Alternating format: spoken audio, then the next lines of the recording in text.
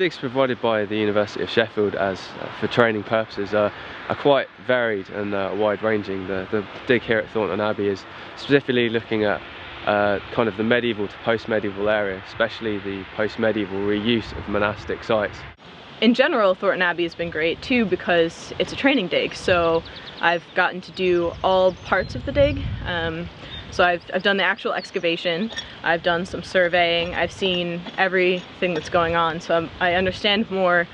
what I'm learning in classes and I'm able to now apply that and see how it's how it's actually happening. And the experience at Thornton Abbey um, is, has been great because you see how everything gets, gets organized, how, how uh, many people participate within archaeology, from outside archaeology, and I think it's a great learning experience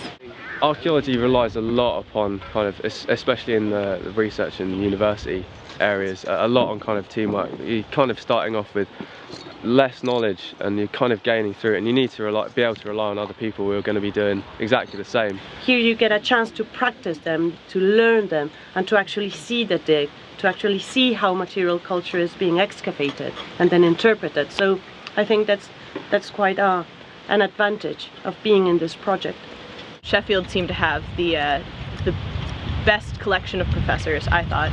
um, for what I wanted to do and the most complete program where you could get a more, you, you got sort of a solid base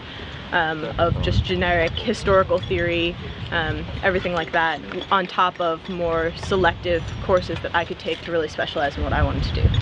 It's been a good experience coming here because it has helped me finalise in my mind exactly what I want to do and the fact that I much prefer to do it at Sheffield than any other place.